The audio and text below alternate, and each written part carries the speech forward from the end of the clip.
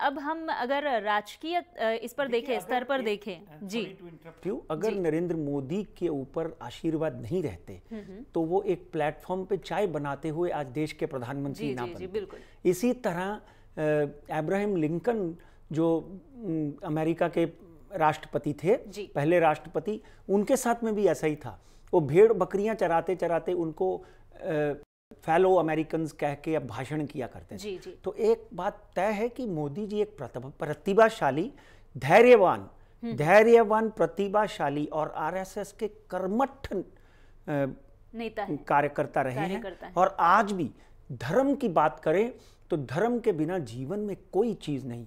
अगर धर्म ना हो तो आदमी पशु हो जाएगा। इसलिए अगर नरेंद्र मोदी जो है नरेंद्र दामोदर मोदी हम्म, हम्म। अगर धर्म को पालने वाला कोई व्यक्ति जीवन में अपने धर्म का अनुसरण करता है तो हमेशा सफल रहता है। 2019 में क्या होगा? गुजरात में क्या होगा? कर्नाटका में कर्नाटका में, में भी। तो ये सब आ, अलग बातें हैं। हम्म, हम्म। आप पाँच वक्त की नमाज़ पढ़ती हैं कि नहीं पढ़ती हैं वो अलग बात है। मैं मंदिर जाता हूँ नहीं जाता हूँ ये मेरी धार्मिक आस्था है। इसलिए मोदी जी अपने धर्म को पालने वाले बहुत ही प्रतिभावान धैर्यवान धार्मिक व्यक्ति हैं। इसके लिए मैं उनको प्रणाम करता हूँ। जी बिल्कुल और जाग को राइया मार सके ना कोई। ये एक जी फ्रेज बाढ़ ना बांका कर सके जो जग बैरी होए।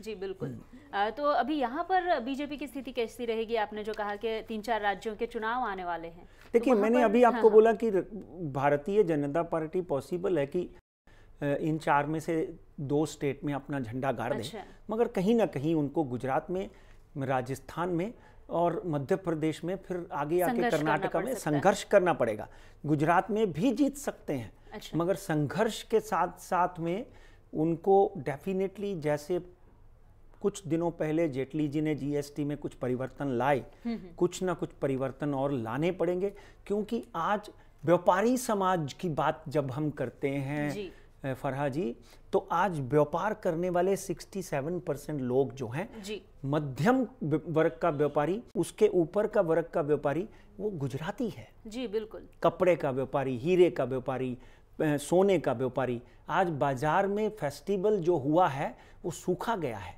फेस्टिवल में लोगों को पूछते हैं कि क्या भाई कैसा रहा? मज़ा नहीं आया। एक किराने वाले को मैंने परसों पूछा कि भाई कैसा लगता है? वो बोला पहले मैं अपने सीए को दो दो हज़ार रुपए साल का देता था अभी वो सत्तर हज़ार रुपए मांग रहा है।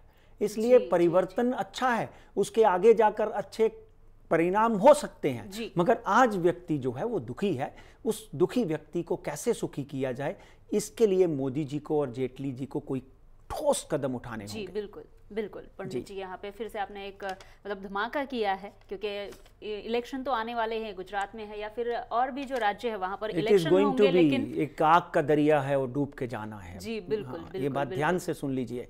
डेफिनेटली हम इन पाँचों चारों राज्यों के भविष्य आपकी तरफ़ आपको ज़रूर पेश करेंगे क्योंकि अभी भी कहीं ना कहीं भारतीय जनता पार्टी भी अपने आप में संतुष्ट नहीं है कि इलेक्शन कब डिक्लेयर किए जाएँ क्योंकि जो धरातल पर वस्तु स्थिति है वो उनके पक्ष में नहीं है ये वो भी जानते हैं। जी जी बिल्कुल। क्योंकि इतनी बड़ी जीत से अगर आधे के ऊपर आकर जीतते हैं हम्म। तो वो भी एक जीत नहीं हार मानी जाती जी बिल्कुल पंडित।